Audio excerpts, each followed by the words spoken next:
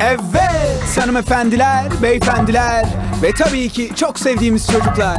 Yaşamın yeni merkezi Teona'ya hoş geldiniz. Bizimle tanışınca son bulur ev derdiniz. Ankara'nın en gözde semti Ümitköy'de. 90 bin metrekarelik bir ormanın içinde yani gürültüden uzak, şehre yakın. Ufak bir peşinatla gelen tapuya bakın. Nezih bir yaşam Haziran'da başlıyor Teona. Burada hayat başka. Teona. Bu A plus Ormanda bir yaşam first class Teona Bir başka hız Hayatın tadını alan biraz Teona Siz almadınız mı hala? İyi akşamlar sevgili Klas Spor TV izleyicileri. Türkiye'nin tek Gençler Birliği programı olan e, Sakin Ol Şuurlu Oyna programına hoş geldiniz. Bu haftada Gençler Birliği ilgili gelişmeleri ve hafta sonu oynayacak müsabakayı sizlerle değerlendireceğiz. Bunu kimin yapacağız? Anadolu Ajansı'nın e, Gençler Birliği yakından takip eden mu sevgili Musa Samur'la e, birlikte değerlendireceğiz. Hiç vakit kaybetmeyelim istersen Musa direkt e, Gençler Birliği son hafta Kayseri Spor'la oynadığı maçla başlayalım. Gençler Birliği kendi evinde fırtına gibi esmeye devam ediyor bu sezon. Bileği bükülmüyor. 14 maçta e, 7 galibiyet, 6 beraberlik ve sadece tek mağlubiyeti var. Ee, neler söyleyeceksin öncelikle Kayseri Spor maçını yakından takip ettin sen de? Yani bence Gençler Birliği'nin iç saha performansı gerçekten çok şaşırtıcı. Çok mutlu da edici. Ümit Özat'ın yaptığı sürprizlerden bahsetmek lazım. Bu karşılaşmada da bir sürpriz yaptı ve forvetsiz çıktı.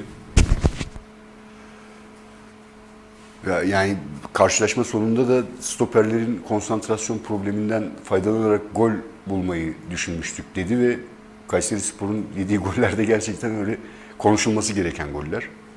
Ya da Gençler Birliği'nin attığı goller. Onlara da geleceğiz. Az sonra videoları maç sonra açıklamalarını dinleyeceğiz. Ee, 14 maçta 27 puan. Şu anda Gençler Birliği'nin iç sahada elde ettiği puan bu. Galatasaray'la birlikte en çok puan toplayan e, 4 takımdan birisi. E, bir maçı da fazla. Karabük Spor 3 puan önünde. Yani şu anda kendi sahasını en iyi kullanan 3 takımdan birisi Gençler Birliği. Gençler Birliği'nin kendi sahasında bu kadar iyi sonuçlar almasına neye bağlıyorsun? Ya benim Ümit Özat'ın Gençler Birliği çalıştırdığın, Gençler Birliği'ni çalıştırdıktan sonra dikkatimi çeken bir yani taktik müdahalelerinden biri mesela beşli savunma yapması. Kendisi her beyanında da şunu söylüyor, gol yememek benim için çok önemli. İçeride de aslında dışarıda da Gençler Birliği ya da Ümit Özat takımı gol yememe üzerine kurup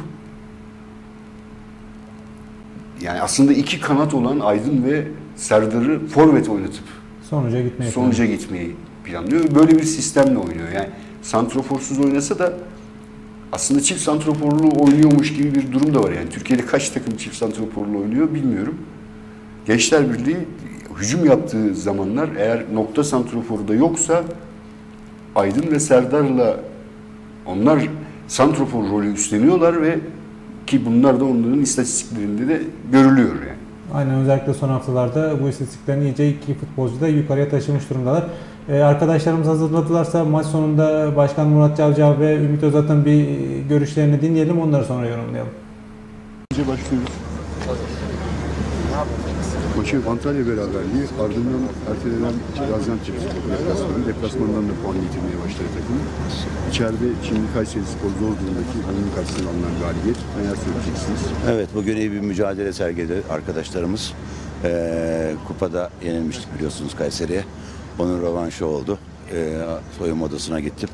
Arkadaşları tebrik ettim. İyi bir mücadele yaptılar. Kazanan taraf biz olduk. 3 puan alan taraf biz olduk.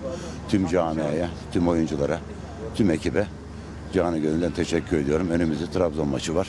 İnşallah Trabzon maçına hazırlanacağız. Ee, inşallah daha iyi üst taraflara çıkmak için e, elimizden gelen çabayı arkadaşlarımız e, sarf edeceklerine eminim. Teşekkür ederim. Ben teşekkür ediyorum. Sağ olun. 3-4 gündür düşündüğümüz, çalıştığımız gibi goller geldi. Belki top rakipteyken topun arkasına 10 kişi, 10 kişi geçen ama top bize geçtiğinde kenarlardan Serdar Aydın'ın forveti, forveti ikilemeyi düşündük. Nitekim bu planlarımız çünkü sabit bir santraforsuz başlayıp stoperlerin, rakip stoperlerin boş oynamasından doğabilecek ya da topla oyuna girmelerinden kaynaklanabilecek bir e, hatalarını bekliyorduk, konsantre kayıplarını bekliyorduk. Bir de Serdar Aydın değerlendirdi. Gol attıktan sonra da santraforlu oyuna dönmeyi açıkçası dönmek bizim için çok doğruydu. Vedat da oyunu tuttu. Güzel bir galibiyet oldu. Oyuncularını kutluyorum. Ee, önümüzde 6 maç var. Ortada 18 puan var. Alabileceğimiz kadar puan almak isteyeceğiz artık yapacak bir şey yok. En, en yukarıya gitmek için hedef büyüyor. Hedef büyüyünce de daha çok çalışmak zorundasınız. Yani öyle alttan kurtuldu diye ligi bitirmedik. Esas lig şimdi başlıyor. Oyuncularım da bunun bilincileri. Alabileceğimiz kadar puan toplamak istiyoruz. Hocam bir santrforumuz olsaydı ne yapardınız? Nerede olurdu? Şimdi şöyle, e, Ali abi, örnek bugün Alanya Osmanlı maçı vardı. Valiner Lonsuz Alanya Spor'un, tabii bunu benim söylemek aklıma düşmez ama zaman zaman etkisi olduğunu hepiniz görüyorsunuz. Yani santrafor önemli bir şey. Hep aynı şeyleri söylüyoruz. Önemli olmasa hücum oyuncularına dünyada milyon eurolar verilmez. Ama elimdeki oyuncular değerli oyuncular, gelişime açık oyuncular.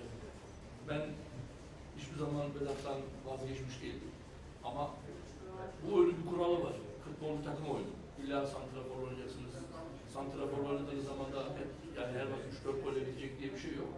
Ama bizim şu bir gerçek ki önümüzdeki sezon yani kulübümüzün çok iyi iki tane santrafora ihtiyacı olduğunu düşünüyorum. Çünkü orası çok değişkenlik isteyen, sert savunmalara karşı oynadığı için sakatlıklara karşı alternatifli bir pozisyon olması lazım. Bu sene şunu da ifade etmek lazım. Oyuncularım haksızlık yapmış olmuyor. Onlar da bütün mücadeleyi sergiliyorlar. Ama bir Wellington, bir El olsaydı çok rahat. Ha şunu da söyleyeyim. Belki bunlar olsaydı benden önce koca da gitmeyebilirdi yani. Dolayısıyla olsaydı 10, 28 puandan fazla olurdu. 28 puan fazla demek 5. demek herhalde yanılmıyorsun. Başka sorusu Hocam, e, 7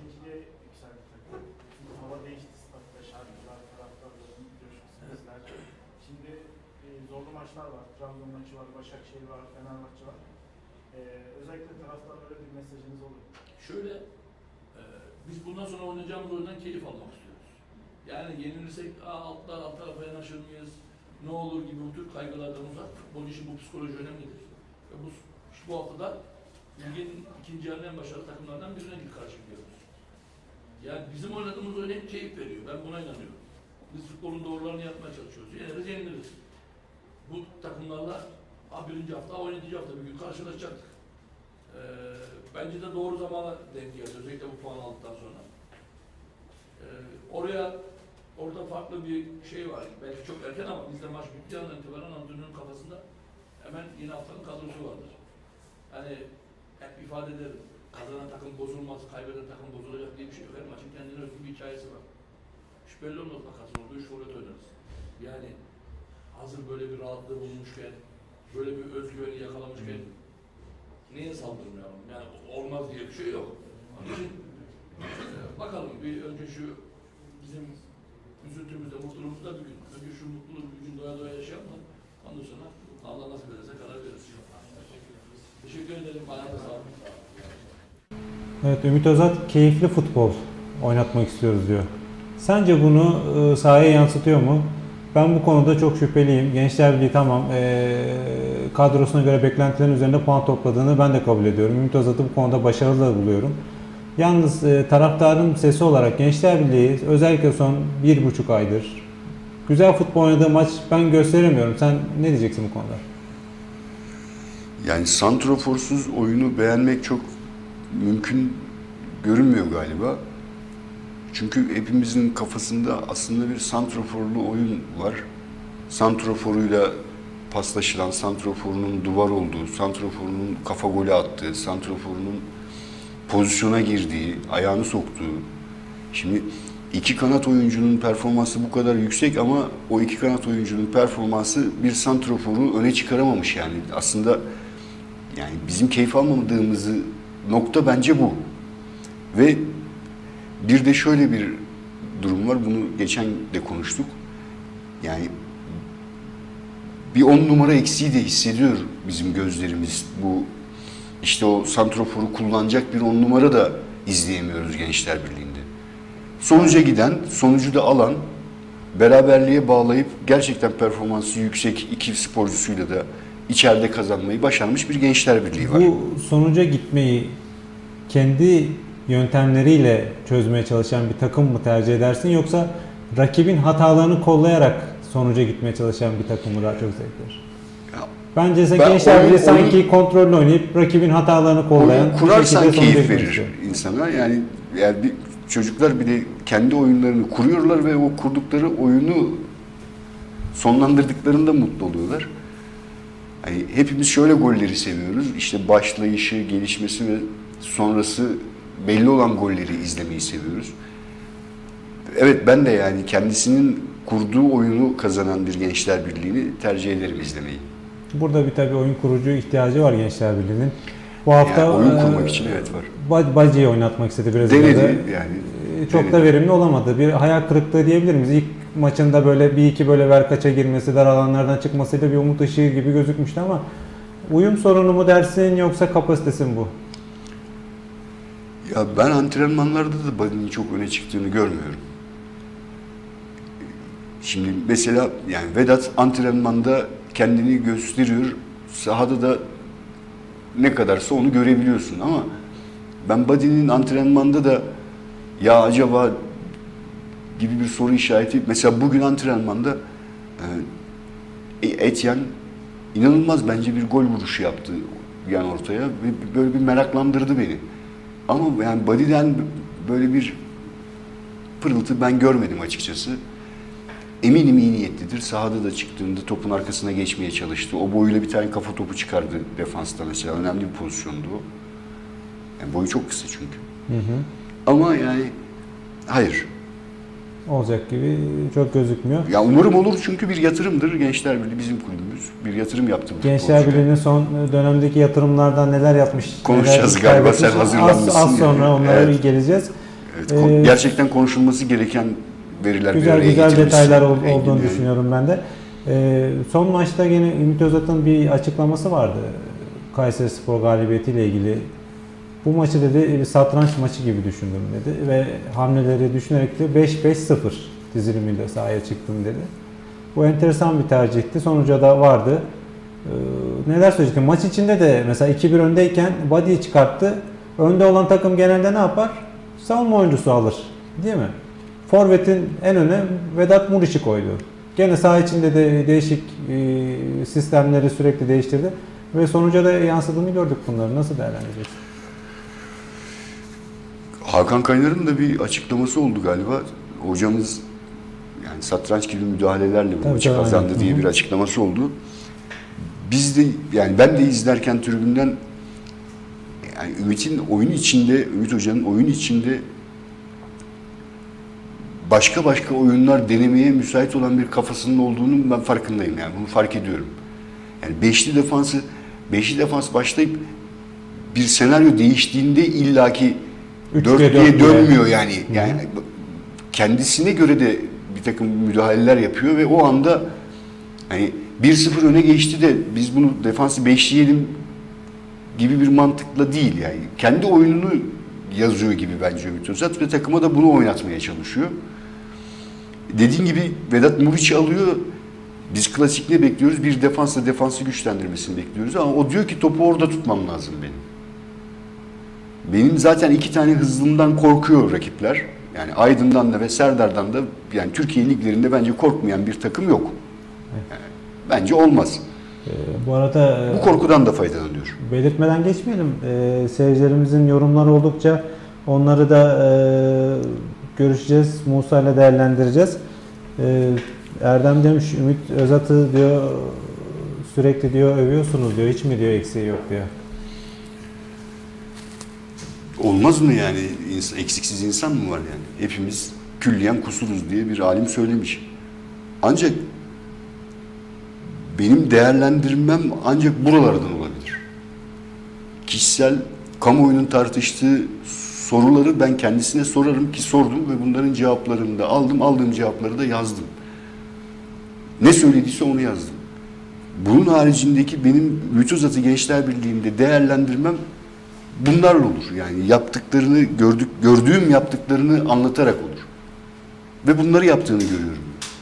Ha şunları da görüyorum. Yani Ümit Özat için bir hep bir böyle bir an bekleniyor. İlk geldiği günden beri Ümit Özat için bir an bekleniyor. Ne zaman acaba basınla tartışacak? Ne zaman acaba bir sivri demeç verecek? Ne zaman acaba kimle kavga edecek? Bu intibayı ben de alıyor muyum Ümit Özat'tan? Ben de alıyorum. Yani bir an sanki bir şey yapacak ve Ümit Özat Ama yapmıyor. Yapmadı şu ana kadar. bence yapmadı. Aydın'la Serdar Alanya maçından sonra bir Bence ön atması çok- dışında çok- çok, şey olmadı. İyi idare ediyor. Yani Cavcav'ın kaybedildiği dönemi de bence iyi idare etti. Futbolcuların asılması gerektiği zamanı da iyi tespit etti ve orada medyanın önüne attı tartışmalarının yaşandığı dönemde yani öyle ya da böyle o futbolcu golden sonra gitti Ümit Özat'a sarıldı ve bu dönemi de iyi idare etti. Bence şimdiki şu süreci de idare, iyi idare ediyor. Bu takımı hedefsiz bırakmayacağını da düşünüyorum ben Ümit Özat'ın. Yönetim de herhalde öyle düşünüyor ki biraz herhalde gelişmeler de var. Gelecek yıllarda da Ümit Özat'ta devam edilecek gibi bir şeyler konuşuluyor, duyuyoruz. Ne- ne- neden açıklanmıyor ama bu tabii yani Gençler Birliği burası. Beklemek lazım. Aynen biz yani yönetim İlhan Başkan gitti, yeni yönetim geldi, soru işaretleri Baş- son dakikaya kadar devam. İlhan. Başkan, İlhan Başkan gitti ama yani İlhan Başkan'ın yetiştirmeleri hala öyle ya da böyle kulübü yönetiyor ya da etkili yerlerdeler. Hala Gençler Birliği'nde son dakikaya kadar hiçbir şey söylenemeyebilir. Yani Ümit Özat aslında Özellikle sözleşme, yenileme, uzatma, biriyle anlaşma konularında bence Gençler Birliği'nde hala İlhan Cavcav'ın ruhu dolaşıyor evet yani. e, ben şey de dikkat çekmek istiyorum. Gençler Birliği'nin attığı goller Kayseri maçında. iki maçta çok iki golde çok enteresan gollerdi. Birinde kaleci topu tabiri caizse içeriye aldı. Ya kendi kalesine gol atan kaleciyi yazmak çok zordu. Ben ama yazdım yani. Kendi kalesine kaleci yazdım ben o golü. İkinci golde savunma oyuncusunun kayarak düşmesi.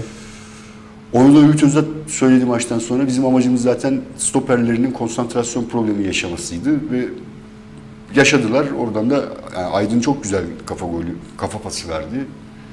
Serdar da yani o şık hareketle bitirmek durumundaydı ama ben Serdar'ın yani son 1-2 maçtır gerçekten sen geçen sefer bahsetmiştin. Ee, U21 ile oynadıkları hazırlık maçıydı galiba. Orada çok konsantrasyon eksikliği görüldü Serdar'da gibi bir şeyden. Ben son iki maçta da Serdar'da böyle bir konsantrasyon Eksikliği var. eksikliği hissediyorum. Şöyle ki e, Ha, maçlarda da gözüküyor, oynuyor. antrenmanlarda da şöyle.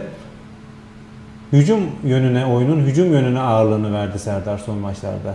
Bu Osmanlı Spor'la artık e, protokol yaptı biliyoruz. E, ne kadar kesin bir şey yapmasa evet, da. hüc- hüc- hücum Eskiden yani. sezon özellikle ilk yarısında sahada basmadık yer bırakmayan tarzda bir futbolcuydu. Koşuyordu, prese de yardım ediyordu, takım savunmasına yardım ediyordu ama özellikle son iki aydır sadece işin bitirici yönünde görüyorum ben Serdar'ı. Bugün antrenmanda Ümit Özat çok böyle işten sarıldı Serdar'a. Artık ne için sarıldı bilmiyorum ama Ümit Özat'ın Serdar'a dair ve insanların da eleştirdiği o beyanatının karşılığındaki futbolu bence Serdar aslında bugün oynuyor. Yani bilmiyorum tabii nasıl bir ilişki devam ediyor ama yani Ümit Özat bir kere daha çıkıp hücum ya da işte kendini gösterme pozisyonlarında bazı futbolcularım var derse bugün de o açıklama sanki yerini bulabilir. Serdar için söylüyorum. Gerçekten evet hücum son hallerde, son bitirişlerde, son ekrana çıkılacak, vitrine çıkılacak durumlarda Serdar var. Hemen Kayseri Spor maçını artık yavaş yavaş bitirelim. Ee, geçen haftaki programımızda sen Alexander Sekic'e dikkat çekmiştin. Bu maçta da sürpriz bir şekilde Ümit Özat aldı onu ilk 11'e koydu. Performansı da bence geçen not aldı. Neler söylersin? Muhtemelen Trabzonspor Geçen hafta bu, bu uzun kısa stoper Selçuk bu işi hallediyor. Şimdi ön libero da Selçuk bu işi hallediyor. Uzun boyu kafa top alabiliyor. O nedenle ben Alexander'ı düşünmüştüm. Hı hı. Ve Alexander için de zaten antrenmanlarda ya da duyduğum hiç aslında kötü bir şey yok. Bir milli takımın oyuncusu. İyi niyetle de çalışıyor antrenmanlarda. Ve ben de maçta beğendim. Soluk aldırabilen oyuncu lazım bu kadar hızlı performansların döndüğü yerlerde futbolda. Selçuk bunu çok iyi yapıyor. tecrübesi kaynaklı. Alexander da bu maçta bence de evet Selçuk'u aratmadı ama Selçuk'un bir özelliği var. Selçuk ileriye oynayarak elini taşın altına sokabiliyor. Alexander yani henüz o kadar dakika almadığı için, bu forma benim diyemediği için belki de çok bu karşılaşmada ileriye oynayıp takımı pozisyona sokacak tehlikeleri, riskleri alan bir görüntü de çizmedi. Hemen kapatmadan Hasan Toptaş da Serdar'la ilgili sürekli transfer dedikoduların, dedikoduların çıkması da performansını etkiliyor diyor bence. Yorumu. Normal etkiler çünkü futbolcular yani parayla çalışan işçiler aslında ve bunlar geleceklerini Futbol endüstrisinin bir nevi köleleri. evet ve geleceklerini de planlamak zorundalar. Yani kim ne derse desin bunların yani bu futbolcuların büyük paralar kazandığı ya da paralar kazandığı süreler çok uzun süreler değil ve yarını olmayan bir iş yaptıklarına inanıyorlar.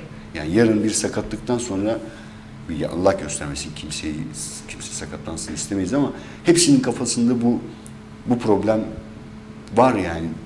Bir gelecek endişesi var. Genç de arkadaşlar bunlar.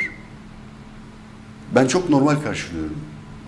İnsanların Genç değil de artık yolun sonuna gelmiş Selçuk diyebiliriz. Daha bir iki yıl daha gerçek futbol oynamaya ya meyilli. umarım oynar. Ee, onun da sözleşmesiyle ilgili herhalde bugün biraz bu hafta soruşturma imkanım oldu.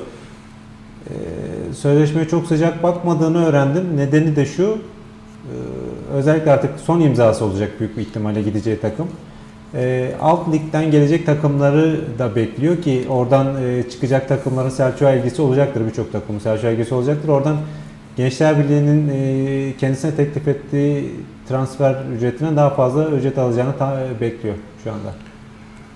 Aydın'la bugün Aydın da sözleşmesi biten Aynen. oyunculardan ve ben biliyorum gençler birliklerin ekseri, ekseriyeti Aydın'la sözleşme yenilenmesini istiyordur.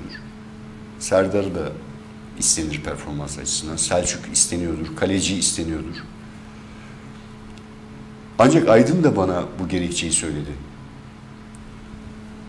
Yani son sözleşmem olabilir dedi ya. Çok haklılar Engin yani.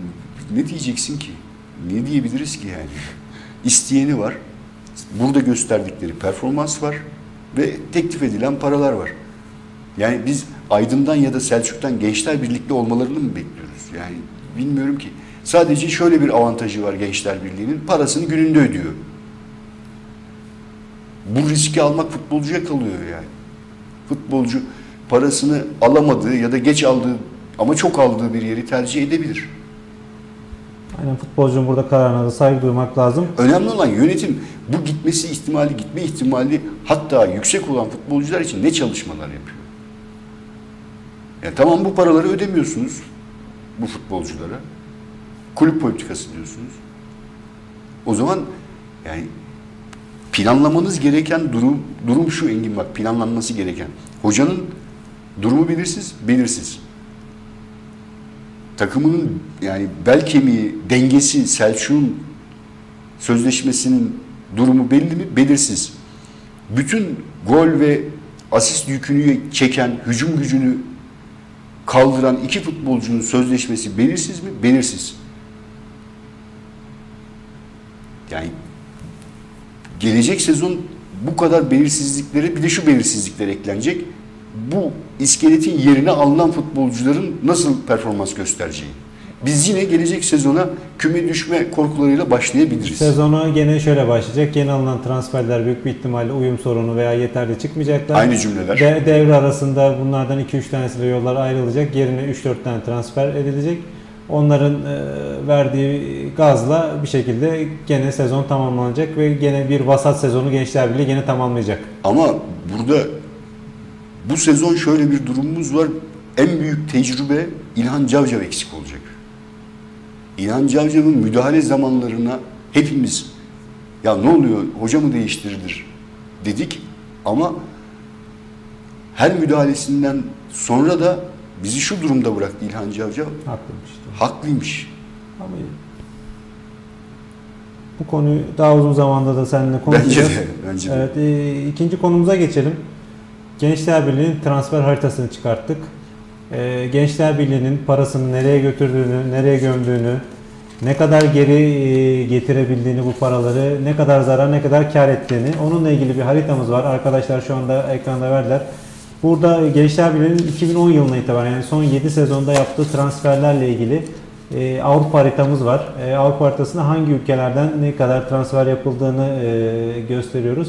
Orada İskandinav Yarımadası'na görüyorsunuz yuvarlak içinde 10 e, rakam var. Orada e, tek tek ülkeler almadık.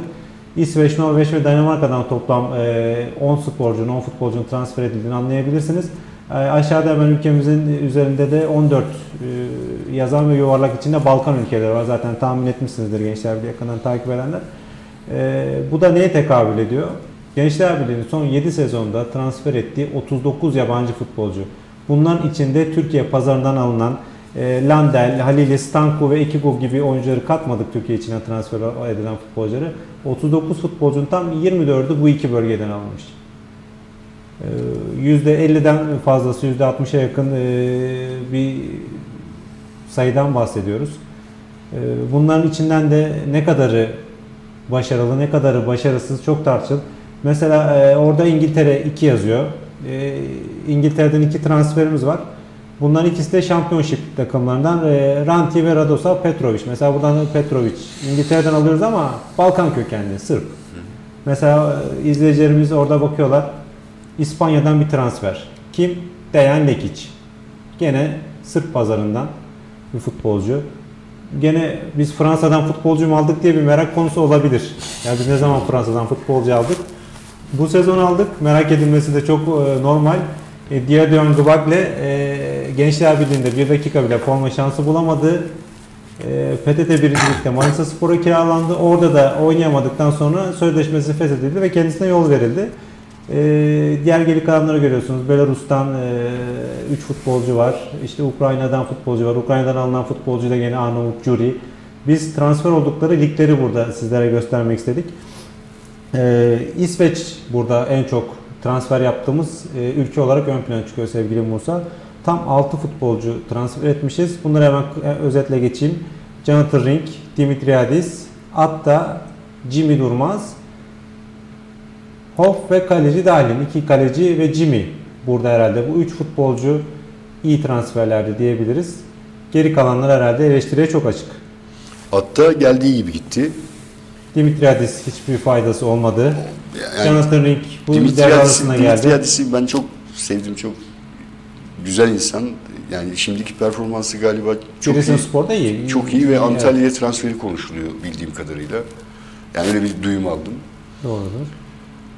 Ring yani Ümit Hoca'nın transferi. Şu Şans da şey veriyor. göremedik. Şans veriyor. Yani atabiliyor kadroya atabildiği kadar. Bir şey görmedik. Ben görmedim. Sırbistan'dan 4 futbolcu var. Ovusu oynamadan Şimdi gitti. bu harita bu harita ya ben şöyle bakıyorum. İki tane menajerin aslında Aynen. Oraya haritası ve iki menajerin haritası ve galiba bir iki de mesela Fransa teknik direktörün yaptığı bir iki transfer belki bunların arasına katılabilir. Ama onun gerisi ben böyle iki tane menajer haritası görüyorum. Aynen şimdi sen yorumları görmüyorsun sevgili Erdem de e, sıkı gençler birliği taraftarlarından. Eksik Yo- olmasın. yorum yorum olarak da yazmış e, ülke haritası koyacağınız da menajer haritası koysaydınız gibilerinden. O da o zaman aslında daha kısa şey olurdu. Hemen iki, iki menajerde bitirebilirdik herhalde haritayı. Ya Çok bu da burada- çalışmıyor. bu burada kadar çok- uğraşmamıza gerek kalmazdı. Burada aslında çok böyle ilginç isimler var. Arnavut, Ukrayna görünen jüri de aslında Arnavut ve o dönem şey denmişti ya başkan Arnavut asıllı ya yani e, oradan mı acaba bu diye. 19 yaşında Bekim Balay gelmişti mesela Gençler Birliği'nde Evet. hiç forma bulamadı. Sonra gittiği yerlerde de çok faydalı oldu aslında. Sparta Prag'a gitti, UEFA Avrupa Ligi'nde falan böyle Evet. tur geçirten goller falan da atmıştı ama e, Gençler Birliği'nde olmadı. E, Buradaki en etkileyici isim bence bundan bahsetmeden geçmeyelim. Gençler birliklerinin de herhalde hafızasından hiç eksik olmayacak Halep.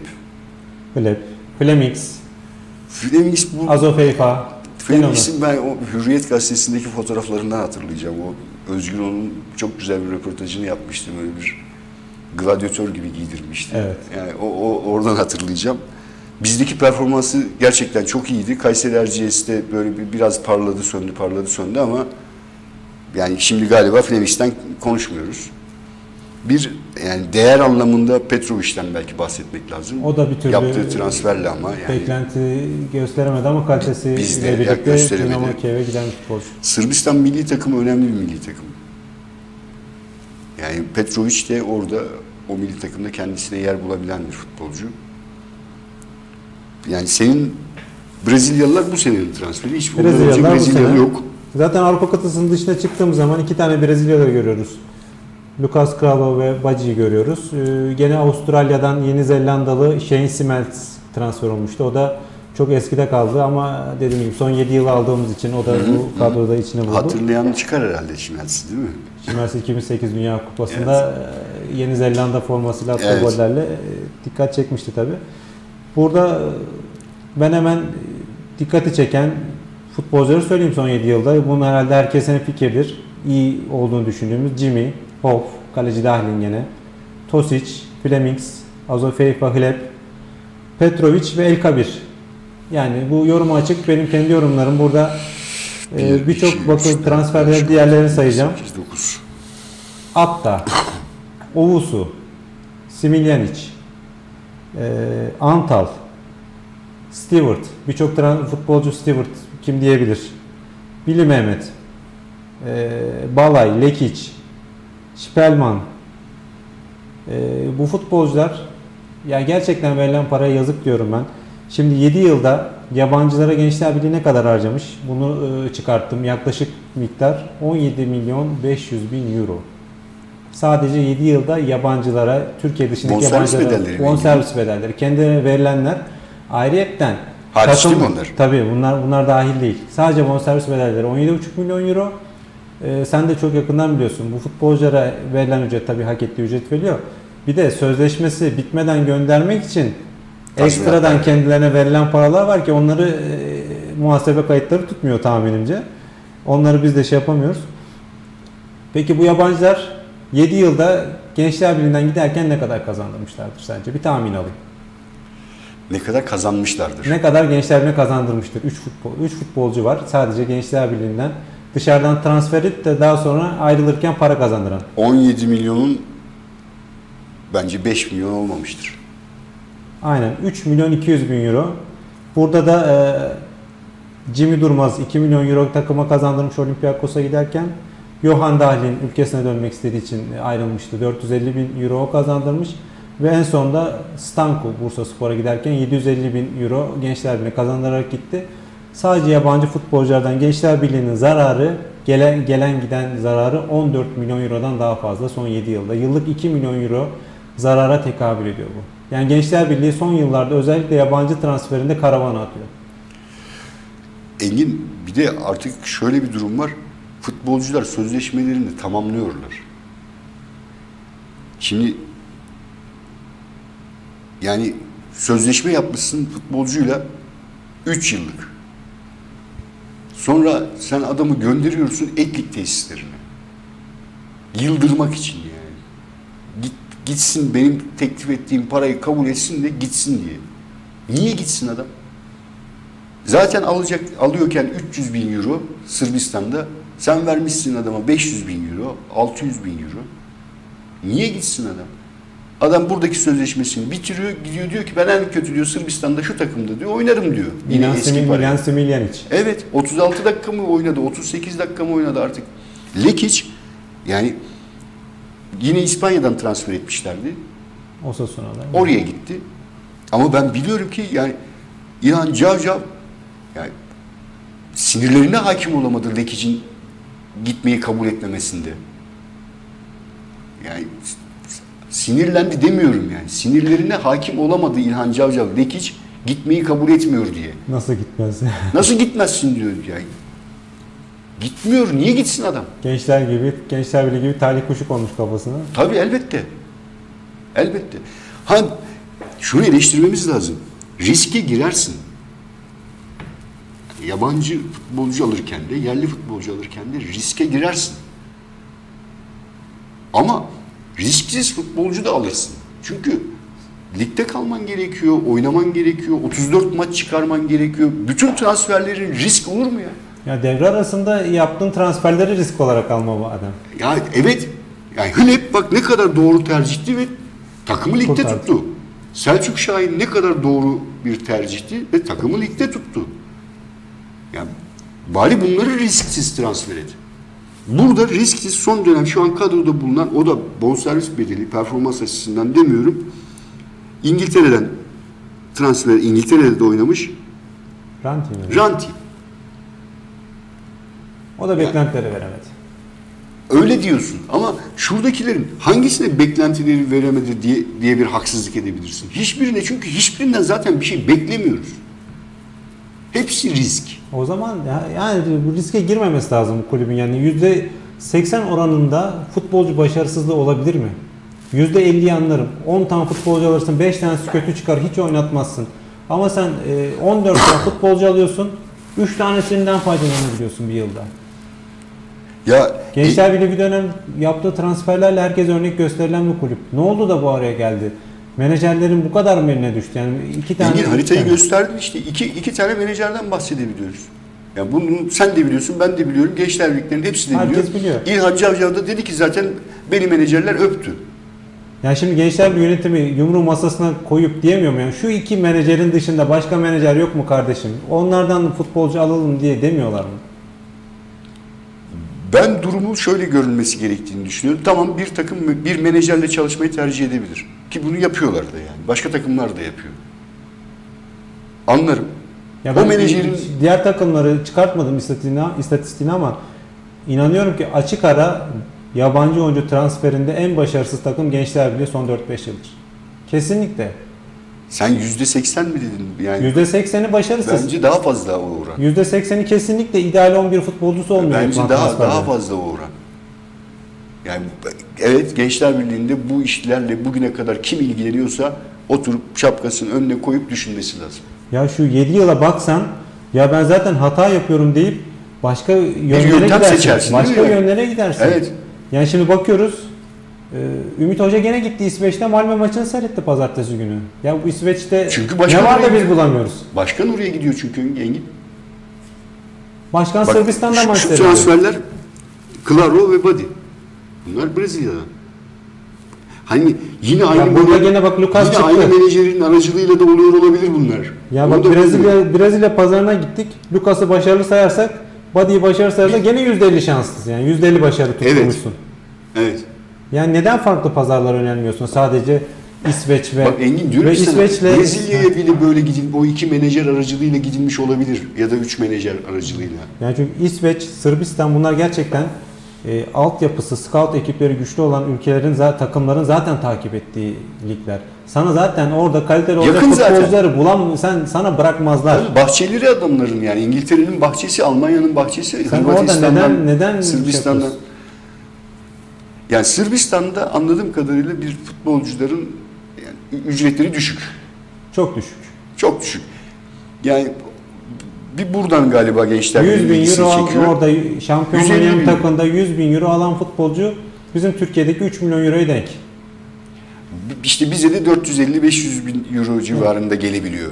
Yani Sırbistan'dan buraya 100 bin, 150 bin euro futbolcunun gelişi bize işte 400-450 bin euro ya patlıyor. Bir 300 bin euro her seferinde fazla gidiyormuş gibi bir durum var ve Ne her seferinde Evet. dediğimiz rakamı üst üste koyunca o 300 bin euroları toplayınca kaç paraya denk geldiğinde sen bulmuşsun zaten yani. Şimdi gene burada eee, tezat bir konu.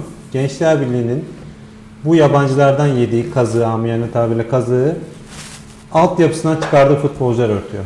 Allah'tan Onu da altyapı, altyapı, altyapımız var 7 yani. yıl içinde Gençler Birliği'nin sattığı Türk futbolcular tam 16 milyon euro bonservis bedeli kazandırmış Gençler Birliği'ne. Yabancılardan yabancılara 17,5 milyon euro bonservis vermişiz. 3 milyonunu geri almışız. Ama transfer olan Türk futbolcular tam 16 milyon euro kazandırmış. Hemen söyleyelim. Mustafa Pekdemek 4 milyon euro. Beşiktaş'a, Orhan Şam 3,5 milyon euro Fenerbahçe, Aykut 2.9 milyona Trabzon'a, Ahmet Çalık yeni gitti 2,5 milyona Galatasaray'a. Soner 2.25 milyona Trabzonspor. İrfan 1.7 milyona yeni gitti Başakşehir'e. Burhan 600 bin euroya Eskişehir Spor'a gitti. Tayfur 400 bin euroya. Gençler Birliği'nde forma giymesini çok beklediğim bir futbolcuydu. Ee, giyme, giymeden gene de takımla transfer yaparak Göztepe'ye gitti. istedi.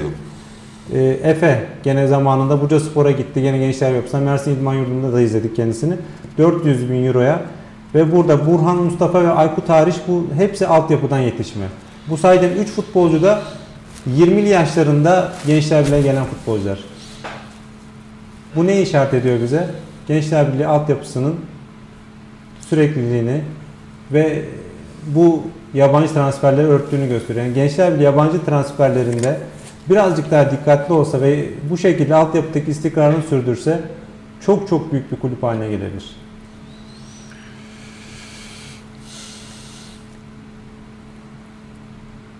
Bir Porto, bir Olimpik Lyon neden olmasın futbolcu yetiştirme konusunda? Yani bu yabancı transfer serbestisi ya da 14 yabancı oyuncu imkanı bu ligde en çok Gençler Birliği'ne zarar verecek. Biz henüz bu zararın biz bu zararı henüz görmüyoruz. Şimdi altyapındaki bütün takımlar şampiyon olarak geliyor ve biz kaç haftadır altyapıdaki ekiplerin teknik direktörlerini ikidir konuk ediyoruz ki bugün, Bugün de bir ay, evet. bugün de bir mutlu haberimiz var yani. Arada bir boşluk var. Zaten o, o takım yok. U18 takımı. Ona geleceğiz program. Hemen reklama da gitmemiz için uyarıyorlar bizi şeyden. İstiyorsan bir reklama gidelim. Olur. Hemen ardından şey yapacağız. Kısa bir reklam arası ondan sonra tekrar sizle birlikteyiz.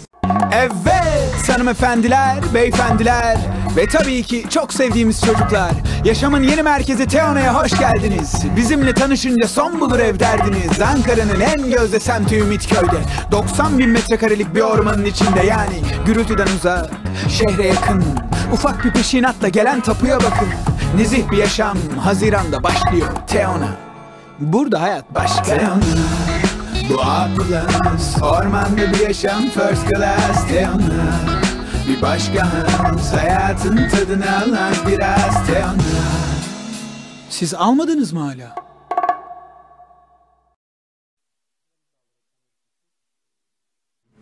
Gençler Birliği altyapısına yetişen futbolcularla neden geleceğin futbol devlerinden biri olamasın? Yani gitmeden önce söyledim, tekrarlayayım. Yabancı transferindeki o sayı serbestisinin ben bugün Gençler Birliği'ne bir zararının dokunmadığı algısının yanlış olduğunu düşünüyorum. Bu zarar Gençler Birliği'ne dokunacak. Gençler Birliği'nin A Yani Gençler Birliği biraz e, biraz demeyeyim yani artık taraftarın gözünden de öyle artık ticarethane gibi yönetiliyor. Sanki şöyle oldu 14 tane futbolcu hakkı verilince Gençler Birliği'ne Gençler Birliği yönetimi sanki önüne o artık 14 futbolcuyu da 14 futbolcu transfer edebilirim. Böyle yani benim gözümde de öyle bir algı var. 20 olsa 20'yi dolduracak kota. 25 olsa o 15 tane daha alayım. Sanki nedir yani neden bu kadar yabancı futbolcuya gidiyoruz? Yani 14'ünü doldurmamız mı lazım? Altyapıdan alınan futbolcuları oynatamaz mıyız? 8 tane futbolcu alalım. 6 tane altyapıdan futbolcuyu oynatmaya çalışalım. Onları kazanmaya çalışalım. Değil mi yani? Neden yani? Alttan gelen zaten belli yani. Gençler Birliği kadar altyapıdan futbolcu çıkartıp bu kadar parlatan başka bir kulüp var mı? Yok. Yani ben de giderek Gençler Birliği'ndeki transfer hareketliliğine böyle arttığını giderek gören birinde şu intiba oluştu. Artık bu, bunu da kanıksadım ben. Sanki her transfer döneminde Gençler Birliği'nde bir sirkülasyon olması gerekiyor. Aynen sanki zorunluluk. be- belli bir sayının hem de böyle hepimizi şaşırtacak kadar Sekiz sayıda gitsin, on futbolcu gelsin. gibi Her, her sene aynı. bir sirkülasyon sanki gerekiyor. Yani sanki o kadarını dışarı atmamız ve o kadar da içeri atmamız gerekiyor. Ya bu sirkülasyonda ne oluyor? Nerelerde nasıl, ne şekilde paralar harcanıyor? Yani niye bu sirkülasyon oluyor? Bunların evet yani düşünülmesi lazım. Düşündürücü durumlar bunlar. Sen bunlar burada Bu, bu transfer... kadar isabetsiz, isabet de değil ya. Bu yani bu Sanki isabetsiz olsun da ben bu futbolcuyu kasti sanki yani. yani 6 ay ben bu adama sözleşme imzalatayım. Engin Artık bak, nasıl Vedat paylaşıyorsan için- paylaş. Vedat Muriç için riske girersin. Ya onu konu geçen hafta da konuştuk. Evet Olur. girersin. Ve sen de ben de şuna kanaat getirdik. Dedik ki ya bu adamı zaten aşağı yukarı bu paraya yani e, ve birincilik alır. Yani Samuel Ovusu gibi Sırbistan'ın Radnički takımından, e, Radnik Surdulice takımından futbolcu için riske girmezsin. Kemal İshak gibi Norveç'in orta sıra takımında oynayan bir takımdan bu futbolcu için riske girmezsin. Jonathan Ring gibi bir futbolcu için riske girmezsin. Burada artık yani insanların e, art niyetli düşünmesinde belki yoktur ama art niyetli düşünmeye yönlendiriyorsunuz insanlar. Ya da ya da şöyle bir açıklama yapılması lazım. Evet biz bu işi kaç yıllıktı bu? 7 yıl. Yani 10 yıl diyelim ben buna. Biz 10 yıldır bu işi çok kötü yapıyoruz. Çok başarısızız. Yani bir yiyeyim parayı da çarçur etmişiz bu konuda diye bir açıklama yani bir, bir ne, ne denir ona? Bir öz eleştiri. Yani şu saydığımız altyapıdan çıkan Türk futbolcuların yanına 15 sene önceki gibi 2-3 tane fut, yabancı böyle sağlam yabancı futbolcu olsa Engin Hülep, neler olur? Hülep Hele bir de 35 yaşına getirebildik. Zaten daha önce de getiremezdik de. getiremezdik. Nasıl getireceğiz? Ama getirdik değil mi? Şimdi yine transfer yaptı Hülep. Hala oynuyor. Hala oynuyor. Göndermeyecek. Hala oynayabiliyorsa gö- dursun Hülep. Yani Hülep o sahaya girişiyle o fut ya Hülep bir yemekli toplantıya katıldığı zaman gençler birlikte futbolcular belki espri, belki saygı hepsi birden ayağa kalkıp alkışlıyorlardı Hülep'i. Çünkü Hülep öyle bir adamdı. Yani izlerken de hepimizi çok etkiliyordu. Yani bütün sahayı taradığını görüyorduk. Yani İrfan Can gibi ya da altyapımızda şimdi oynayan bir yıl onun bölgesinde Hilep'i örnek alacak, Hilep'in fotoğraflarını asacak o kadar çok genç var ki. Hilep gitmeyebilir miydi? Evet Kalabilirdi. gitmeyebilirdi. Kal- Çok yüksek meblağlarda da oynamadı. 400 bin euroya anladığım, hatırladığım benim o kadar paraya ligde tuttu ve ondan sonra da oynamadı zaten. Yani ligde kaldı, garantiledi 10 maç oynadı. Son 7 maçta da zaten Ya ben gördüm öğlen geliyordu tesise. Sonra taksi atlayıp geri gidiyordu. Nereye gidiyor diye sorduğumda çocuklar şey diyordu. Çorba içmeye gidiyordur abi diyorlardı. Yani. Ama bir şey diyemiyorsun adama. Bunun için transfer etmişsin. Demişsin ki ligde tut. tutmuş mu tuttu. Tutmuş. Hacı bırakacağı zaman şöyle bir açıklama yapmıştı. Ben artık idman yapmaktan bıktım. Antrenman yapmaktan bıktım, sıkıldım diye. Ya Hilep çok değerli bir futbolcuydu. Ben isterdim şimdi Hilep Beştepe tesislerinde o altyapılara gitsin, çocukların başını okşasın, saçını okşasın yani. Ancak öyle gençler birlikte yapabiliriz bu futbolcuları. Bunu da bir kenara not düşmemiz lazım. O altyapımızdaki küçük çocukları Hilep gibi futbolcuları kadromuzda bulundurarak ancak gençler birlikte yaparız. Yani şimdi gelen yorumların hepsi de seninle ve ikimizin düşündüğüyle paralel şeyler. Veysel Seven, Ramazan Çelebi, e, hep Erdem gene altyapının değerine, altyapıdan futbolcu çıkmasına yönelik e, yorumlarda, temennilerde bulunmuşlar. İrfan'la Ahmet gitti. Onların yerine yeni İrfan bu. Yeni Ahmet Çalık bu. Diyebileceğimiz futbolcular şu anda var mı? Bence var. Ben yani mesela Hacettepe'de Berat seyrediyorum 98 numara. Milli takımları da seçilmeye başladı. Fiziği de böyle etkileyici. Şut atıyor. Ya bugün kulüpte konuştuk. Ya bizim takımda şut atan var mı dedim. Sen söyle Engin Gençler Birliği'nde şut atan var mı? Duran top olmazsa yok. Ama Hacettepe'de var. Berat mesela benim yani Kadir yine Hacettepe'den izlediğim için söylüyorum. Hacettepe'ye de geleceğiz biraz sonra. Ee, Değerli Başkan Arif Ölmez'le de görüşeceğiz. Hemen kısaca bu hafta sonu oynanacak Trabzonspor maçına e, geçelim. Ee, Sence nasıl geçecek bir maç? Trabzonspor son haftalarda çok formda. Ersun Yanal'la birlikte ve yeni stadıyla birlikte ligin ikinci yarısının en başarılı takımlarından birisi. Ersun Hoca yani Gençler Birliği tarihi için hep böyle nadide bir yerde kalacak. Hepimiz güzel hatırlayacağız Ersun Yanal'ı. Bülent'te bir programı almak istiyor. Umarım başarabilir. Yani hocanın yoğun programı nedeniyle. Sezonu bitirdikten sonra belki olabilir. Umarım artık. Ersun Hoca'nın takımını, önceki kurduğu takımı burada Ankara'da oynattığında ben izledim. Üçlü defans oynatmıştı ve çok alan bulmuştu rakip. Tam bu o, o maça e, birkaç detayına daha geleceğiz ama o maçta biliyorsun 28. dakikada Uğur Çiftçi kırmızı kart görmüştü yani. Yok yok bi- bizim Gençler Birliği ile oynadığım ilk maçtan bahsetmiyorum. Ben Ankara'da yani Ersun Hoca'nın Ersun Hoca'nın ilk Ankara taktiksel- güçlü gençler bir zamanları Taktik- söylüyorsun. Tabii tabii. O zamanki keşke o futbolu izleyebilsek. Zaten gençler Evet. bir taraftarlarının en büyük arzusu. Belki de Ankara gücü taraftarlarının en büyük arzusu. O Ama heyecanı yani- yansıtan bir takıma sahip olmak. ama işte o dönem Ersun Yanal'ın şöyle bir keşfi vardı. Hücum faal. Hücum faali yani. Yugoslav faali diyoruz. Ve hepimiz de biliyoruz ki Gençler Birliği'nin o hücum faali bir dönem bütün insanları gıcık etti. Ya bırakmıyor ki atağa çıkalım diye yani üç büyüklerin taraftarları ağlıyordu. Yani reboundu Gençler Birliği kapmazsa eğer Gençler Birlikte futbolcu faul yapıyordu. Şimdi e, tahmini 11'imiz de var e, Gençler Birliği'nden. Sen gene bize birkaç tüyo vereceksin. E, bizim soruşturmalarımıza göre tabii Ümit Özat her zaman sürpriz yapmayı seven bir antrenör. Son Kayseri Spor galibiyetinden sonra e, bu maçta Bacini yerine biz Milinkovic'i ilk 11'de oynamasını bekliyoruz. Antrenmanlarda da o yönde tercihlerini kullandı Ümit Özat ama Ümit Özat her zaman e, biliyorsunuz artık izleyicilerimiz de aşina olmuştur taraftarlarımız. E, bir iki futbolcu değişikliğinde sürpriz kadro tercihleriyle ön plana çıkıyor. Bu kadroyu sen nasıl değerlendiriyorsun Musa? Sence bu kadroyu görebilir miyiz? Trabzonspor maçında yoksa birkaç değişiklik olur mu? Yani Milinkovic'i ben de atmasını bekliyorum. Konuştuk kadroya, sahaya. Ama yine İsah'la başlayabilir. Sek için yani. Yoksa Kalinin yerine. Milinkovic olmaz. Yani Alexander, Kaleli, İsa. İki forvet şaka, 8 defans gibi. Yani, yani 2-8 bu sefer.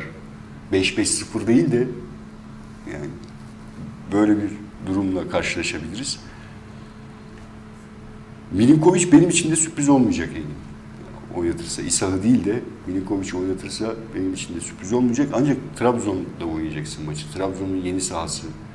Baskılı başlayacaklar. Yani baskılı genç Önce Trabzonspor'un 8 da şöyle bir şey de var. Dört- Süper Lig tarihinde 126 golle en çok gol attığı takım Gençler Birliği. Öyle de bir tarihi istatistik var. Yani bir 8'li defans karşılayan blok hatta Aydın ve Serdar. Serdar'la da karşılayan belki 10'lu 11'li karşılayan ama Serdar ve Aydın'la da çıkan bir maç bölümü izleyebiliriz.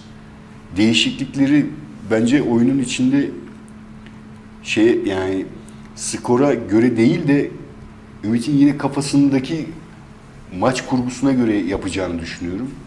Skor da tabii etkili olacaktır. Milinkovic'i başlamasa bile deneyebilir, alabilir oyunun bir bölümünden sonra. Vedat Şimdi Vedat'a Vedat, Vedat'ı maçta- Vedat'ı oynatmak ister. Yani çünkü Vedat beni oynat diyor. Hafta içinde gene U21 Ama takımıyla oynanan maçta günden 4 beri- gol atıyor. Engin, Vedat ilk günden beri bunu diyor. Antrenman futbolcusu mu oldu? Yani Vedat şu anda aynen o o, O muameleyi çiziyor. görüyor. Yani açık söyleyeyim o muameleyi görüyor ama şimdi sen ne diyorsun ya Vedat'la oynadığı zaman Gençler Birliği başka oynuyor. Çünkü Vedat orada topu tutması isteniyor Vedat'ın. Vedat'a oynanıyor top. Vedat orada faul alacak. Vedat orada topu sağına soluna aydına atacak. Ama olmuyor maalesef. Gene bu U21 takımıyla oynanan ve Gençler Birliği'nin 6-1 kazandığı kafa maçta bir de müjdemiz var. Bir kafa golü atsın Vedat. Mehmedi gol attı. Mehmedi gol attı ama kim attı? Gençler Birliği'nin attı. U20 Bu sezon ilk gol herhalde Mehmedi'nin Mehmedi- U21 takımda forma giyip Gençler Birliği'ne gol attı. Bakalım inşallah bu gol onun bir açılış golü olur. Ben Ag- Ago'nun bu Mehmet'in bu maçta yani kadroya gir, gir- girebileceğini de düşünmüyorum. Yani. Yani Zaten sakatlıktan zaten takımda forvet yok. Yedek forvette de kim olur? İşte Muriç, Vedat olur. Rantiye mi olur? Etienne mi olur? Ondan da artık Mehmedi'ye sıra gelmesin. ben Etienne olur. Ranti bir de belki bence. Anladım. Ee, bu maçta e, 18'den bahsediyorum. Tabii, 11'den değil yani. e, Selçuk gene büyük bir ihtimalle oynamayacak. Evet. Selçuk Riske edilmek bugün- istemiyor Bugün çünkü- antrenmanda da yoktu. Yetişse oynayabilse belki oynayabilir ama en ufak bir Ya, şeyde daha uzun çaplı sakatlık Selçuk, olabilir. Selçuk bundan sonraki geri kalan hiçbir maçta da oynamasın ama Gençler Birliği ile sözleşme yenileyip gelecek sezona Gençler Birliği formasıyla Kafasına başlasın genç- isterim ben yani. Bizim de temennimiz o şekilde. Ee, Yani bir soru işareti eksilte eksilte gitmek mantıklı. Selçuk soru işareti değil. Orayı eksiltmek lazım. Aydın ya mesela Aydın'la ilgili şöyle bir yorum yapılabilir. Ümit Özat'la oynuyor Aydın denilebilir.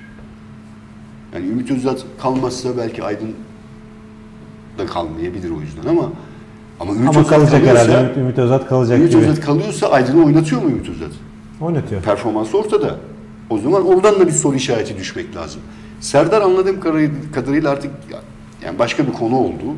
Serdar Onu çok da artık e, Evet, değişmemek yani başka lazım. bir konu Onu oldu. sene gençler birliğinde görmeyeceğimizi Ve- biliyoruz artık. burada altını çizmemiz gereken bir isim daha var. Sen onu da koyu renk içine alsaydın keşke söyleyebiliriz mesela bu kadrodan. Bence Sergi'yi çok katkı veriyor Gençler Birliği'ne. Claro O, bu, bu yeni yeni yeni Yani olduklarından dolayı onlara çok bunlar çok şey çok katkı veriyor. Gidenler arasında. Ama bunların hepsi kaleci, hop çok katkı veriyor. Yani şöyle gitmek lazım.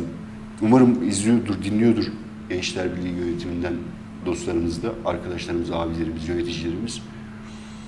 Soru işaretlerini azalta azalta eğer gelecek sezona hazırlanırsak gelecek sezonun başında her zaman yaşadığımız o kabusları yaşayarak sezona girmeyiz.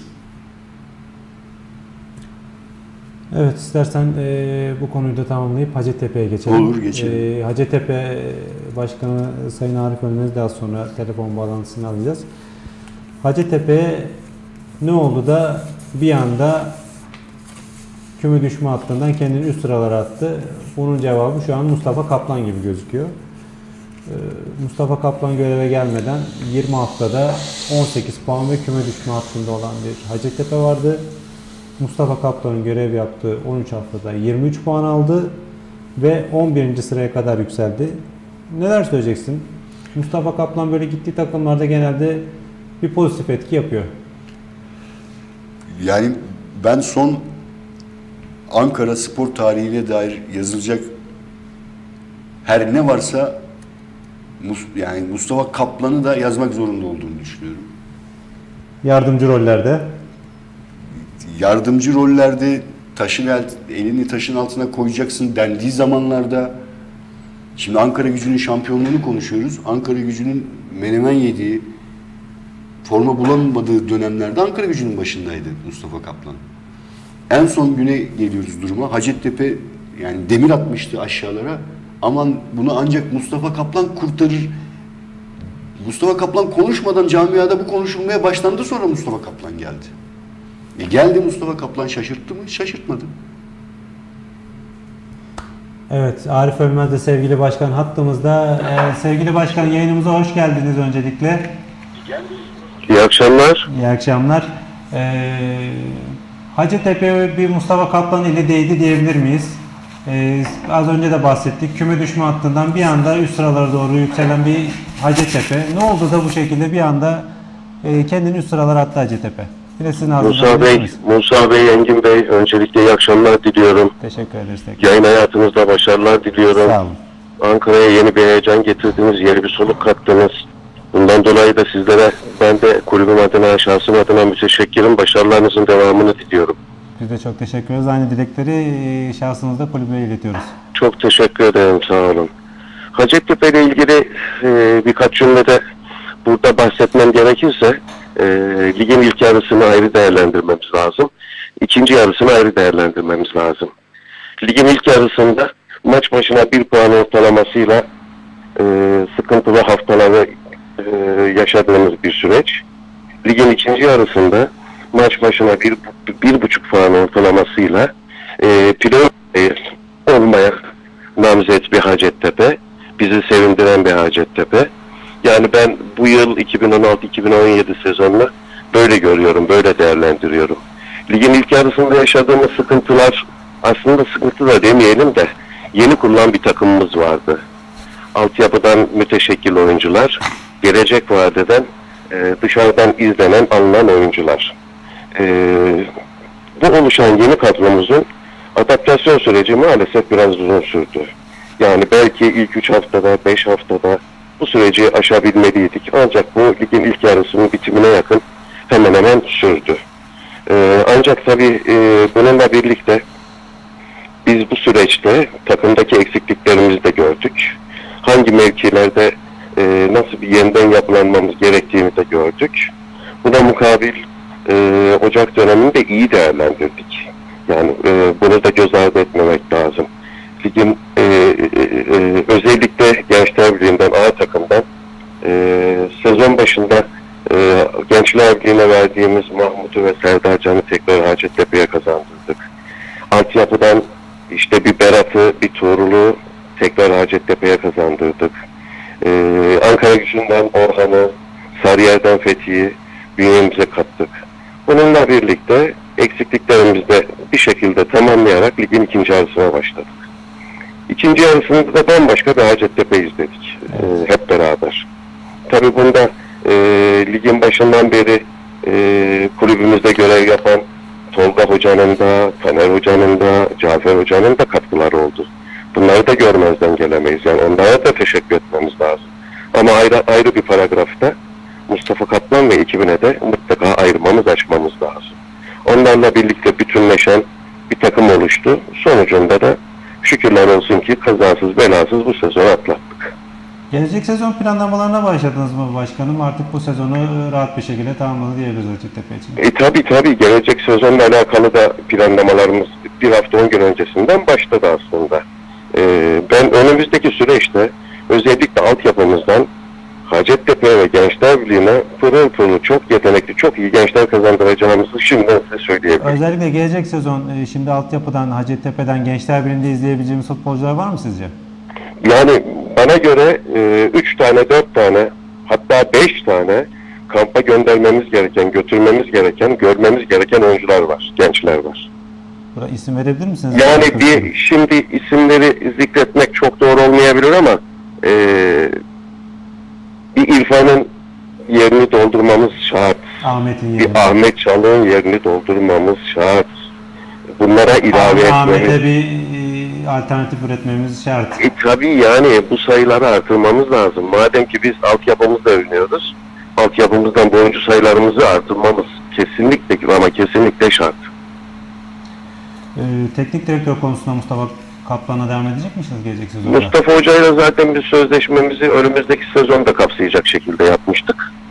Ee, eğer bir başarı istiyorsak, bir istikrar istiyorsak bu çizgide devam etmekten yanayız.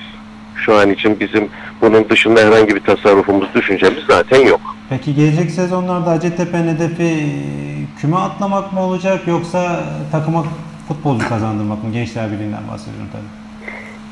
Valla onu ben ancak şöyle değerlendirebilirim Engin Bey. Ee, biliyorsunuz Hacettepe aynı zamanda Gençler Birliği'nin altyapı kulübü. Hacettepe'de e, Gençler Birliği'nin altyapısından özellikle beslenen ve beslenmesi gereken bir kulüp. Şimdi burada asli amaç ne diye sorarsanız asli amaç oyuncu yetiştirmek. Oyuncu yetiştirmek derken sadece Hacettepe'ye ve Gençler Birliği'ne değil, Türk sporuna, Türk futboluna. Bugün liglerdeki e, birçok kulüpte bizim altyapımızdan yetişmiş yüzlerce sporcumuz var. Bu zaten bizim asli görevimiz ama bununla birlikte sportif başarıyı da yakalamak zorundayız. Sportif başarıyı görmezden gelemeyiz. Sportif başarıyı elde edemezsek biz o gençlerimizi oynatacak e, kategoride takımlar e, e, oynatacak kategoride olmazsak zaten üretken olamayız. Yani oyuncu yetiştirmek ve sportif başarı bana göre birlikte düşünülmesi gereken iki ana unsur. Tadı damağımızda kalan bir Gençler Birliği Oftaş hikayesi vardı. İnşallah gelecekte, inşallah gelecekte onları da göreceğimizden ben eminim. Ee, Musa sen de başkanımıza sormak istediğin bir şey var mı? Başkanımızı tebrik ediyorum bence. Doğru müdahaleyle Hacettepe'yi bu ligde bu sezon tuttuk. Gelecek Çok sezon, teşekkür ederim Musa Bey. Gelecek sezon Gençler Birliği ve Hacettepe altyapısında da bir şampiyonluk var galiba. Başkanım bahsettiğini ben duyamadım bilmiyorum ama. Altyapıdan bir transfer bence hataydı. Hacettepe'de bir transfer dönemi yaşandı nedense. Hacettepe'ye futbolcular transfer edildi. Futbolcular transfer edildi. Futbolcular transfer edildi. Sonrasında e, yani ben Arif abinin yeniden Hacettepe'yi de altyapısından yetişen futbolcuların ağırlıklı oynadığı bir takım haline getireceğini en kısa zamanda tahmin ediyorum ve düşünüyorum. Biz de o şekilde yani dışarıdan transfere biz de yani Gençler Birliği taraftarları da çok sıcak bakmıyor. Sizden de anladığımız kadarıyla çok zorunda kalmadıkça dışarıdan transfere kapalı olacağız gibi gözüküyor. Öyle mi? Evet, evet, evet, evet, evet. Peki. Ee, başkanım çok teşekkür ederiz yayınımıza katıldığınız için. Çok teşekkür ederim. Ee, sizlere transfer çalışmalarında ve gelecek sezon hazırlıklarında başarılar diliyoruz. Çok teşekkür ederim Musa Bey. Selamlar. Başkanım, başarılar. Sağ Devamını diliyorum. İyi yayınlar. Sağ olun, Teşekkürler. başkanım. Yavaş yavaş gene altyapıyla birlikte programın sonunu gene altyapıyla birlikte yapacağız. Ee, bir şampiyonluk daha geldi. Bu sefer altyapıda U19 takımı şampiyonluğu. Maşallah diyelim, nazar değmesin. Ee, gençler şu an gelişim liglerinde U19 ligi var. U17, U16, U15 ve U14 Türkiye Futbol Federasyonu bu ligleri düzenliyor. U18 ligi yok. En üst 3 gelişim liginde de bölge şampiyonu Gençler Birliği'nin takımları. U15 takımı ikinci olmuş. U14 takımı ise dördüncü olmuş. Yani en üst ligdeki 3 takımın bölge şampiyon olması gelecek adına bizi ümitlendiriyor. Neler Bir söyleyeceksiniz? de şöyle bir özellik daha var galiba Engin. Antalya'da Gençler Birliği 3 takımlı olacak. Bir bölgeden 3 takımın olduğu yok. Yani öyle bir durum yok. Gençler Birliği'nden 3 takım olacak. Topkapı Otel'de Antalya'da. Artık Türkiye şampiyonluğuna giden yolda. Evet. O çok büyük bir gurur Gençler Birliği camiası için. Evet ve bunun aslında devamını biz hep şöyle gördük. Gençler Birliği sen bunun istatistiklerini de verdin. Giden paralar, gelen paralar. Hesap çok ortada. Aslında iş de, yolu bir. aslında iş de ortada. Yani bir fabrika kuruldu. Orada fabrika neyden kazanır? Ürettiğinden kazanır. Gençler Birliği'nin de strateji ne, stratejisi ne olmalıdır? Ürettiğinden kazanmak olmalıdır. Altyapısına güveniyorsa ki güvenmeli, başarılar ortada. Altyapısına yatırım yapmaya devam etmeli bence Gençler Birliği. Aynen bir az sonra herhalde Avni hocamız da U19 takımımızın antrenörü. E, kendisine de bir telefon bağlantısı Futbolculuğundan da kuracağız. hatırlıyoruz tabii Avni hocamızı. Yıllardır Gençler Birliği'nin içinde olan bir isim. Evet, tabii tabii. Ayrıca bağlantı kurabilirsek onları da soracağız kendisine. E, puan durumunu da arkadaşlar getirebilirler mi U19 takımımızın?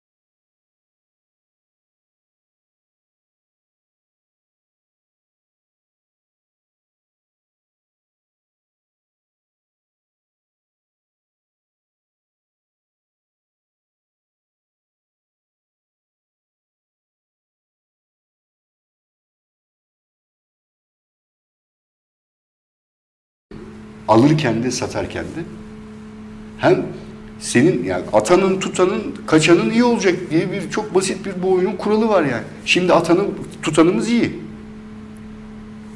Kaleci çok kaleci bence çok iyi bir performans sergiliyor. Yani Hof bu Yani performansı şöyle de bir şöyle de bir güzel bir haber kulağıma çalındı benim. Yani kaleciyle mümkünse bu yaz Gençler Birliği Sözleşme uzatacak. uzatacak. Yani uzat uzatma şeyi var. Arzusu var. Var. Şimdi tamam burası iyi. Selçuk ortada iyi. Stoperlerin iyi. E, Atanı iyi, iyi- atanı bulacaksın. İyi atan kaç tane riske girmişsin. Hiçbirinde bir şey tutturamamışsın. O zaman U19'una bakacaksın. Hacettepe. Mesela Hacettepe'de Hüseyin Hacettepe'ye bakacaksın. Ya deneyeceksin. Ya biz o zaman gençler birlikliler de sabrederken sıkılmıyor.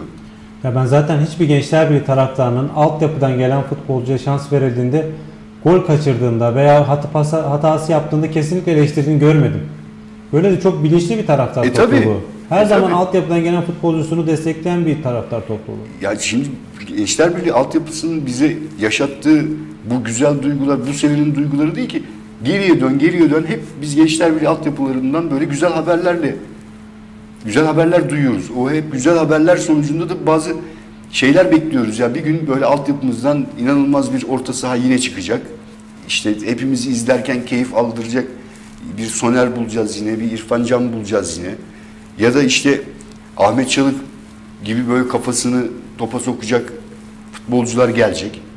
Ya da işte Atabey dedik ya İngiltere'den futbol ta- takımları istiyormuş bunu. Bu bizim takımımızın yetiştirdiği futbolcu. Ya bunu izlesek şu Gençler Birliği formasıyla. Ben Atabey'e dedim ki ya bir tane gol at dişimi kıracağım Atabey dedim ya. Bir tane gol at dedim dişimi kıracağım dedim ya. Bu kadar yani çünkü görmek istiyorsun. Çünkü çocukluğundan beri takip etmişsin. 10 yıldır o çocuğu orada, burada, sağında, solunda o tesislerde görüyorsun. İstiyorsun ki o formayı o giysin. Çünkü Gençler Birlikli yani olmaması mümkün değil. 7'sinde, 8'inde, 9'unda gelmiş. Babası hangi takımı tutuyorsa tutsun önemli değil. Çocuğu da o takımı tutmak, tutmak zorunda da kalmış olabilir. O da önemli değil. Gençler Birliği olsun, golünü atsın, gol sevincini taraftarıyla yaşasın. Evet aynen. İrfan'ın ufacık yaptığı jest hepimizi böyle gururlandırıyor. Neden? Yani çünkü o naifliği İrfan Can'da gördük, görüyoruz yani. Yani İrfan'ın böyle e, çok da kimsenin bilmediği çok büyük değerleri var. Yani hala Gençler Birliği'ne, Gençler Birliği camiasına, Gençler Birliği taraftarlarına olan vefasını Çok güzel bir insan gösteriyor. yetiştirmiş altyapı İrfan Bazı Can Kahveci. duy- duyurulmaması da lazım. Tabii. Ama Gençler Birliği yönetiminin e, yapmadığı, Gençler- yapamadığı evet, bazı evet. şeyleri Gençler Birliği'nin eski yöneticileri, eski futbolcuları e, yapıyorlar. E, bunu da bilmesi lazım.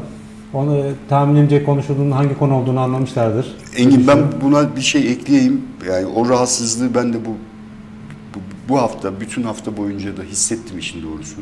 Ve yani konuşmaya da çalıştım birilerine. Durumu da anlatmaya, izah etmeye de çalıştım. Gençler Birliği yönetiminin bahsettiğin mevzuyla ilgili, konumuzla ilgili bir çalışmasının olduğunu bugün duydum ben.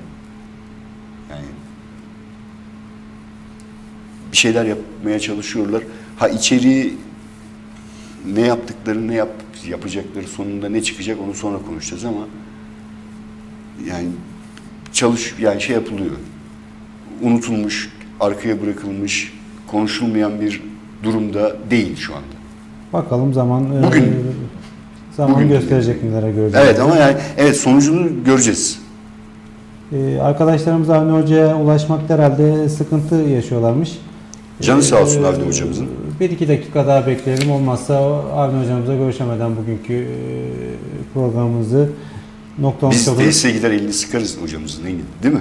Yani ben de şimdi Erdem sormuş tekrar bugün çok fazla da sordu. O soruyu ben de cevabını bilmiyorum ve merak ettiğim bir soru. Sen biliyor musun bilmiyorum. Ee, çok spesifik bir soru.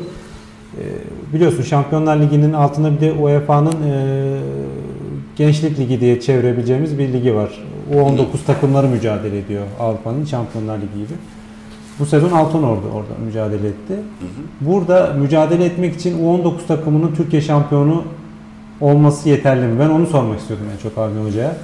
Ee, bak. onun sonucu mesela o da mesela gençler bir taraftarları arasında çok büyük bir heyecan yaratacaktır ve gazeteci olarak da senden bu cevabını da bekli, bekliyoruz aslında. Yani Gençler Birliği'nin herhangi bir takımı Şampiyonlar Ligi'nde mücadele edecekse bu yani beni Çok güzel bir çok haber. Yani bunu. Ee, Keşke Avni hocamız e, en kısa süre içinde biz de eksikliğimiz olarak görün. Bunu e, Avni Hoca bağlansa büyük bir ihtimal nihayete kavuşturacaktık bu cevabını. E, Musa öğrenirse muhtemelen hafta içinde herhalde Tabii, Ajansı'ndan geçer. Ve olmazsa gelecek haftaki programımızda bunun cevabını mutlaka vereceğiz. Bizim de en büyük niyetimiz e, Şampiyonlar Ligi'nde bir Gençler Birliği A takımı olmasa da U19 takımını görmek istiyoruz. E, çok yakından da takip edeceğimiz bir konu olacak. E, bizi izlediğiniz için çok teşekkür ediyoruz. E, yayınımızı burada noktalıyoruz. Musa'cığım sana da çok teşekkürler Ben e, teşekkür ederim. yorumların için. E, gelecek hafta görüşmek üzere. Herkese iyi akşamlar. Evet hanımefendiler, beyefendiler ve tabii ki çok sevdiğimiz çocuklar. Yaşamın yeni merkezi Teona'ya hoş geldiniz. Bizimle tanışınca son bulur ev derdiniz. Ankara'nın en gözde semti Ümitköy'de. 90 bin metrekarelik bir ormanın içinde yani gürültüden uzak, şehre yakın. Ufak bir peşinatla gelen tapuya bakın. Nezih bir yaşam Haziran'da başlıyor Teona. Burada hayat başka. Teona. Bu A plus Ormanda bir yaşam first class Teona Bir başka Hayatın tadını al az biraz Teona Siz almadınız mı hala?